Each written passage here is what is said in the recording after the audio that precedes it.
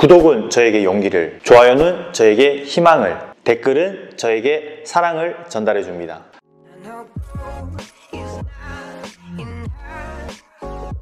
안녕하세요. 장사 건프로입니다. 오늘은 조금 무거운 주제를 얘기해 볼까 합니다. 바로 요즘 최근에 가장 이슈가 되고 있는 그 버닝썬 사건에 대한 건데요. 이 부분도 사실 자영업자들하고 관련이 있다고 생각을 했어요. 왜냐하면 뭐 정준영 씨도 그렇고 승리 씨도 그렇고 그리고 그 외에 버닝썬에 관련된 어떤 어, 유명 인사분들이 하시는 사업 때문에 잘못은 그분들이 했지만 그분들이 같이 영위하는 사업들 때문에 그 밑에 있는 뭐 프랜차이즈 가맹점이라든지 아니면 그분들과 관련된 자영업자분들은 엄청나게 피해를 받을 것 같다라는 그런 생각을 했었습니다. 승리 씨 같은 경우는 이 라멘집 프랜차이즈를 하나 운영을 하고 있잖아요. 승리 씨 혼자만 그렇게 잘못을 하고 나서 뭐 수사를 받고 실질적으로 잘못한 게 있다면 구속도 되고 혼자 죄값을 치르면 되겠지만 그 외에 승리의 어떤 이미지로 먹고 살고 있는 프랜차이즈 가맹점주분들은 이 피해 보상을 받기가 굉장히 힘듭니다.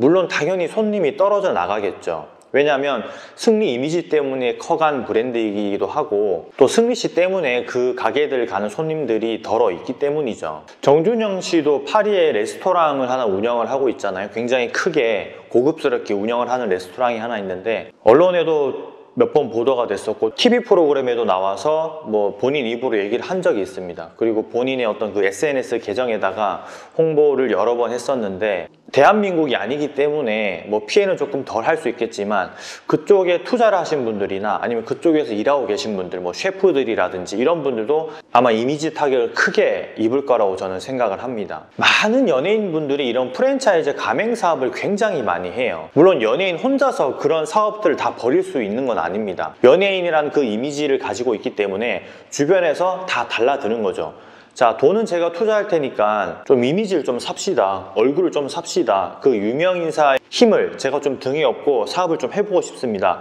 이렇게 접근한 사람들도 굉장히 많고요. 그 다음에 공동으로 투자해서 사업을 진행하는 경우가 많습니다. 우리가 알고 있는 그런 탑급 연예인들은 거의 대부분 요식업이라든지 아니면 어떤 판매업을 다 진행을 하고 있어요. 뭐 본인의 이름을 내걸고 가맹사업을 하는 연예인들도 많지만 본인의 이름이 없이 어, 진행을 하는 사람들도 굉장히 많습니다.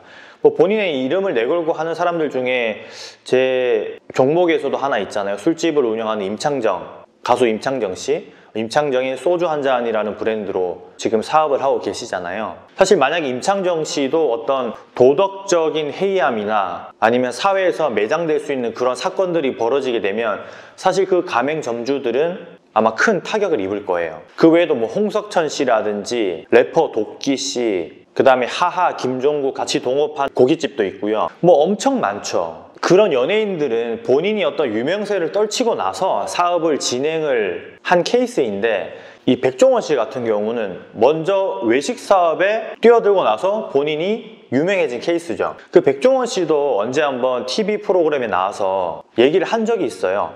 왜 다 브랜드로 사업을 진행하고 있는지 그 다음에 본인의 얼굴을 내걸고 하는 프랜차이즈가 있는 반면 본인의 얼굴을 아예 빼고 본인의 이름을 아예 빼고 진행하는 프랜차이즈들도 많습니다. 그 더 본가에서 진행한 그 외식업 창업자들 그 다음에 외식업을 운영하고 있는 사람들의 어떤 모임에서 어느 한 질문자가 질문을 한 적이 있어요. 왜 그렇게 다 브랜드로 사업을 문어발식으로 확장을 하냐 사실 이 문제가 예전에 국회에서도 한번 대두된 적이 있었죠. 근데 그때 백종원 씨가 약간 말끝을 흐리면서 한 얘기가 있습니다. 본인도 잘 아는 거죠. 만약에 백종원이라는 그런 브랜드가 백종원이라는 이름을 건 브랜드가 조금이라도 이미지에 타격을 입게 되면 그 수천 개의 가맹점들이 같이 동시에 무너질 수가 있습니다. 그렇기 때문에 아마 내면에서는 백종원 씨를 필두로 진행을 하는 그런 가맹 프랜차이즈 사업이기 때문에 계란을 한 바구니에 다 담지 않는 거죠. 주식에도 그런 격언이 있잖아요. 계란을 한 바구니에 다 담지 마라. 뭐 물론 사람마다 뭐 얘기하는 것도 다르고 투자 방식이 다 다르기 때문에 뭐 계란을 나눠서 담어라 라고 얘기하시는 분들도 있고 계란을 한 바구니에 담지 마라 라고 얘기하는 사람들도 있는데 백종원 씨는 계란을 한 바구니에 다 담지 않는 거죠. 왜냐하면 한 바구니에 다 담았다가 그 바구니 자체가 백종원 씨인데 이 바구니가 만약에 땅으로 추락해 버린다면 그 계란들이 모두 깨지겠죠. 근데 그 계란들은 우리 같은 소상공인들입니다. 개인 자영업자들인 거죠. 물론 직접적으로 백종원 씨가 그런 얘기들을 한 건 아닌데 그런 뉘앙스로 얘기를 한 걸 제가 얼핏 들은 기억이 있어요. 그러니까 본인 이미지에 어떤 심각한 타격을 입게 되면 수천 명의 가맹점주들, 수십 개의 브랜드가 한 번에 무너진다는 거죠. 연예인뿐만 아니라 어떤 큰 대기업의 브랜드 대표는 그 이미지를 굉장히 중요시해야 됩니다. 그런데 그렇지 못해서 얼마 전에 치킨집 또 다른 외식업 브랜드 대표들도 도덕적이지 못한 행위로 인해서 경찰 수사를 받게 되고 이미지가 굉장히 많이 타격을 받게 되면서 그 브랜드를 사람들이 불매 운동을 하는 그런 일들까지 벌어졌었습니다. 우리 같은 자영업자분들은 굉장히 억울한 부분이에요.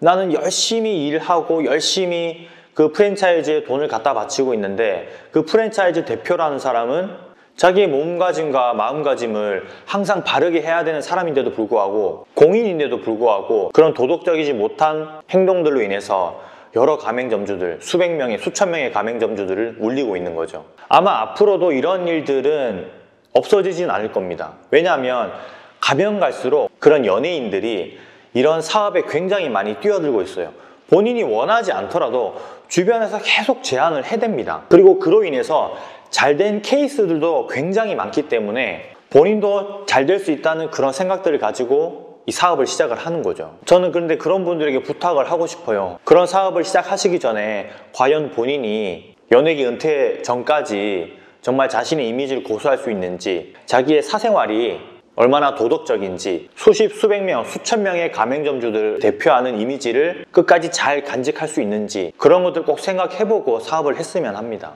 물론 사람이 살다 보면 잘못을 할 수도 있습니다. 그리고 깊이 반성하고 죄값을 치르고 그러면 다시 또 복귀를 할 수 있어요. 그런데 제가 말씀드리는 건 이 도덕적인 문제. 일반 사람들이 생각을 했을 때 아 이 사람은 정말 안 되겠구나 이 사람은 복귀 불가능이다 라고 대중들이 생각을 한다면 그 사람은 정말 큰 죄를 짓는 거고 죄값을 치른다고 그 죄가 싸그리 없어지는 건 아니거든요. 그래서 제가 이번에 일련의 그 버닝썬 사태를 보면서 느낀 점은 제발 유명인분들이 사업을 시작하실 때 자신의 이미지만 자신의 인기도만 그런 것만 생각해서 사업을 시작하지 마시고 정말 그 외식업에 열정이 있는지 자기 자신의 이미지를 포장이라 하더라도 외부에 안 좋은 게 흘러나가지 않을 수 있도록 단속을 잘 할 수 있는지 그런 것들을 꼭 생각하시고 사업을 했으면 좋겠어요. 물론 제가 하는 이 말들이 그분들에게 전해질 리는 만무합니다. 저도 잘 알고 있습니다. 앞으로 창업을 꿈꾸시는 자영업자분들도 그런 것들 다 생각하셔서 감안하셔서 창업을 했으면 좋겠고요. 주식을 살 때도 우리는 흔히 대표의 인성을 많이 봐라 라는 그런 말들을 굉장히 많이 듣습니다.